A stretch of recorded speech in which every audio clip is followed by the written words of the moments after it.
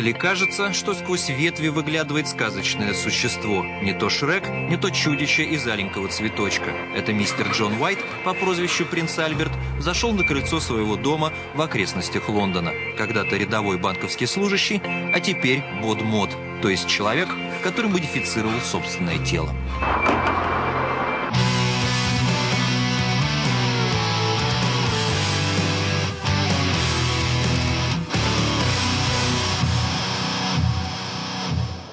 Человеческое тело бывает идеальным только в произведениях искусства. Начиная с древних ритуалов и заканчивая последними достижениями пластической хирургии, человек перекраивает себя в соответствии с модой. В новом тысячелетии новые чертежи лекала с использованием высоких технологий.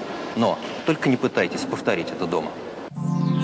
Эй Джей всегда раздражало ее тело. Казалось слишком женственным, слишком человеческим. В 19 лет она решила стать киборгом.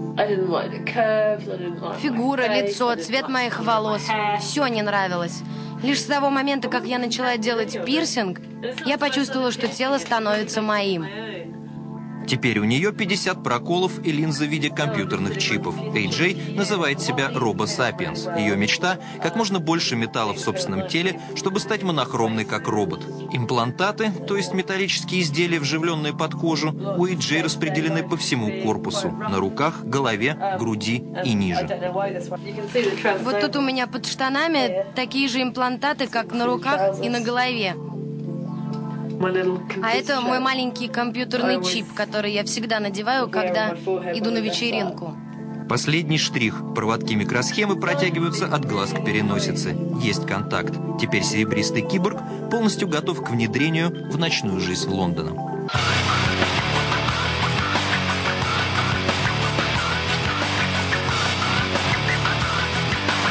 Клубе Torture Garden, сад пыток, самые экстравагантные лондонцы по-своему отмечают Пасху. В интерпретации канонов здесь сплошная ересь.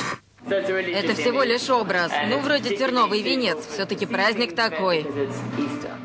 AJ в комплектации боевого андроида, вышедшего развлечься в свет. На левом глазу оптический прибор неизвестного назначения и вентиляционная решетка на затылке. Лара Крофт покажется жалкой пародией. Это моя самая любимая модификация. Очень сексуально. Может доставить, кстати, массу удовольствия. На вечеринке полно ее друзей-трансформеров. Среди них знаменитый мастер кройки и шитья по телу Сампа фон Киборг. Ничто человеческое ему не чуждо.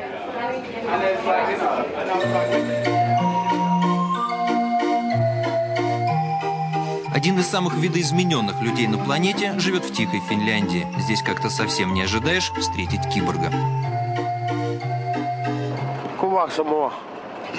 Извините, мы не финны. Зато я фин.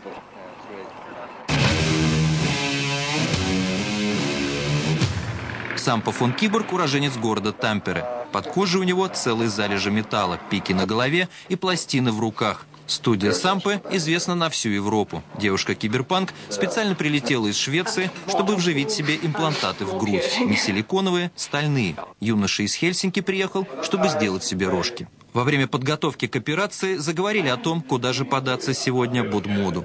Теперь его точно не возьмут в Макдональдс продавать чертовы гамбургеры.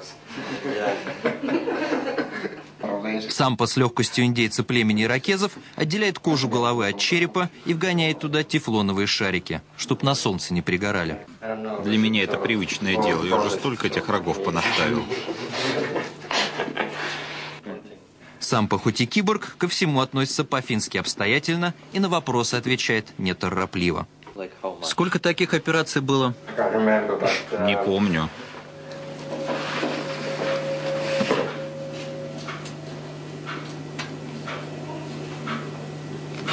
Думаю, около 200.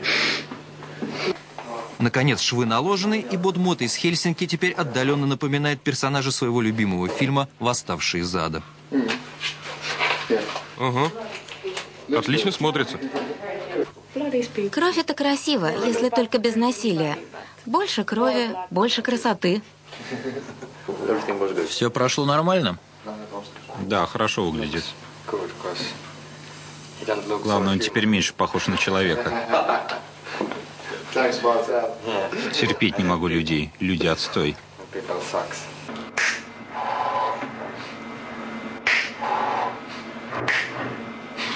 Профессор Кевин Ворвик просит больше не называть его человеком. Киборгом он стал не для красоты, а из любви к науке. Роботы – его страсть. Жутковатый Магвай, как настоящий человек, обладает пятью органами чувств. Реагирует на звук, свет и тепло. Цветные семь гномов реагируют на приближение объекта. Вообще-то они не должны сталкиваться. Иногда у них это получается, а иногда нет. Но, как все живые существа, они учатся на ошибках. Пару лет назад профессор лег на операционный стол, чтобы вживить себе в руку настоящий компьютерный чип, соединенный электродами с нервными окончаниями руки. Благодаря этому устройству я могу посылать сигналы из мозга на специальный передатчик, после чего рука робота повторяет мои движения. Вот смотрите, я разжимаю пальцы, и робот тоже разжимает. То есть, благодаря вживленному чипу, я и робот стали в чем-то единым механизмом. Ворвик написал книгу «Я киборг». К своему 60-летию профессор планирует вживить чип прямо в мозг и стать глобальным, как всемирная паутина. А мое тело киборга не будет ограничиваться вот этой оболочкой. Оно будет везде, где есть интернет. Если я кликну два раза рукой, то мои нервные сигналы поступят на компьютер, и лампа включится. Дайте-ка еще раз попробую, что-то не получилось.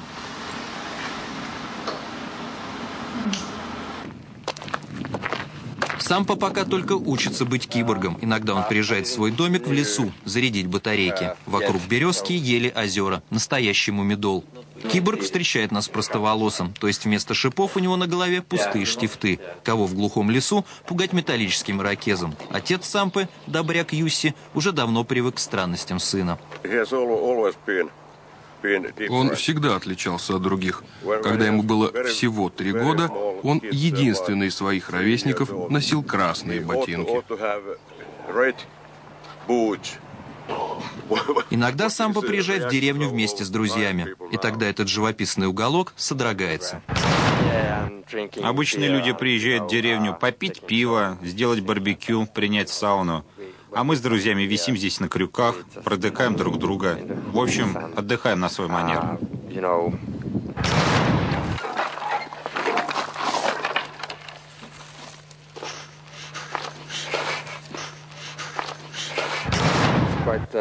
Это довольно умиротворяющее место, когда двери открыты, солнце светит, и ты просто висишь.